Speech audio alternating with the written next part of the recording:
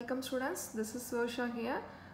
Uh, TN Max 10th Standard Algebra Exercise 3.5 uh, Fifth sum. This is uh, last sum in this exercise. So, so far I have done all the sums in the last videos. So, please after seeing the video do the sum. Okay. So, this is your fifth sum. If your polynomial p of x x square minus 5x minus 14 is divided by another polynomial q of x, we get x minus 7 by x plus 7. Find q of x.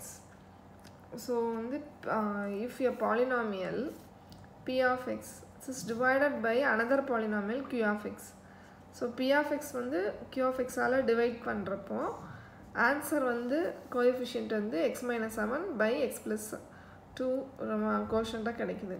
So find the q of x so இதுதான் நம்மளுடைய question so நம்ம என்ன பண்ணணும்னா if a polynomial p of x divided by another polynomial So p of x is divided by another polynomial.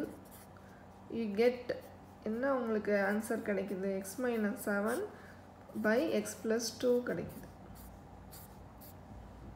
Okay so what is q of x இதுதான் நம்மளுடைய question see உங்கள் question first புரிஞ்சுதா?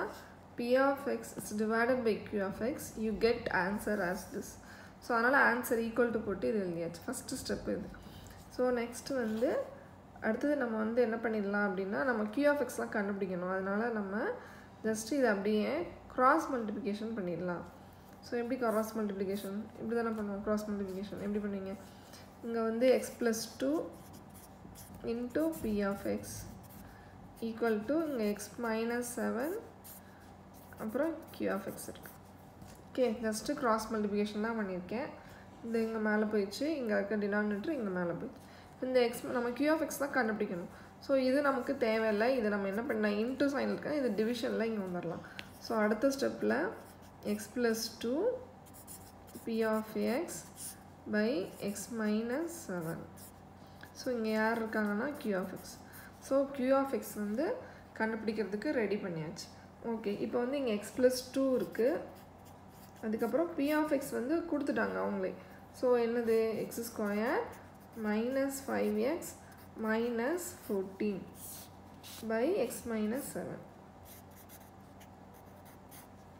this is q of x okay so இப்போ வந்து நம்ம Q of X கண்டுபிடிக்கிறதுக்கு எல்லா வகையுமே ready பண்ணியாச்சு. இப்போ நம்ம என்ன பண்ணோம் அப்படின்னா நமக்கு இன்னொரு வேலை என்ன எக்ஸ்ட்ரா இருக்குது அப்படின்னா இந்த x square minus five x minus ஃபோர்டீனை split பண்ணணும். ஃபேக்டரைஸ் பண்ணணும்.